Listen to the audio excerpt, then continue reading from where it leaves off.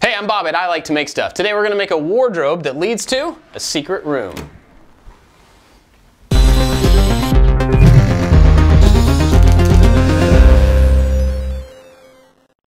Today we're in Josh's basement. They've got a long room that they want to turn into two separate rooms. They want to have a guest bedroom up here and then keep the office on this back section. So we're going to build a wall right down the middle, but instead of a normal door, it's going to be a secret door. Josh is going to give us the plan. We're gonna start this project by making a wall between the office and the front part of the room. It's a pretty standard wall. It's gonna go under the ducting and it's gonna have its own separate door. Rather than having a boring door, I wanna cover it with a corner wardrobe. That wardrobe will look and function just like a normal wardrobe, but when you open it, you can push through the back wall into the office. Now that we have the plan, we've got our materials list, now we gotta build a wall.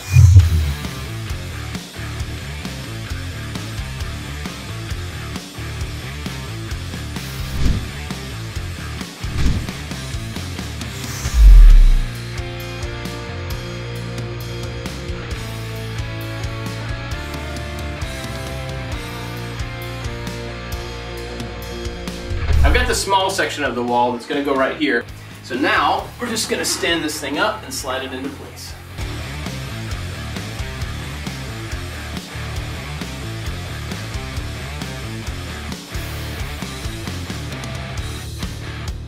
We've got the two sections of the wall up and locked together. They're also tied into the joists above and the stud in the wall. So now we've got to tie them into the concrete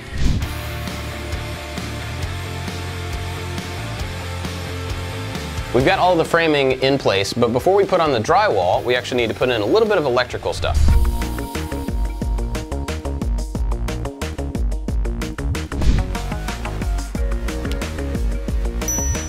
So now we're gonna add the mortises for the hinges so that it can hinge off of this door plate.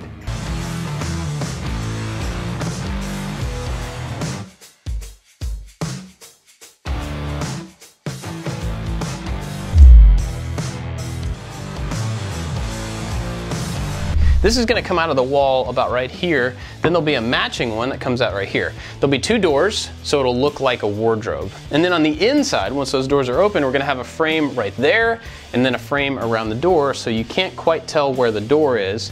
So we're gonna start attaching these pieces together and stick them on the wall.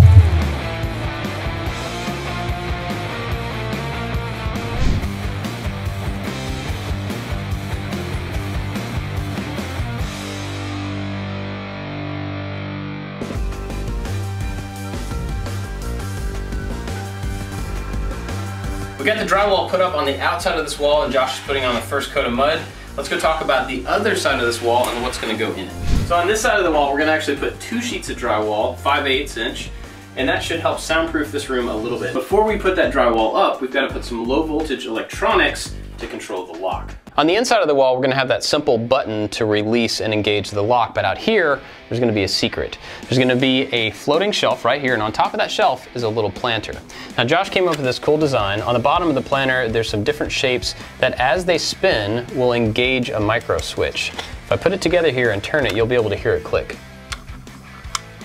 This will be sitting here. When you wanna open the door, turn it a small turn, it'll unlock the door, and then you can go in.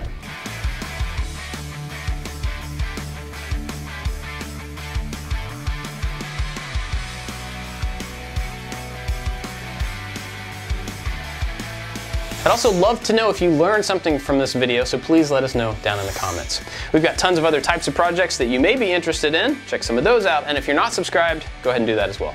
That's it for this one. Thanks for watching. See you next time.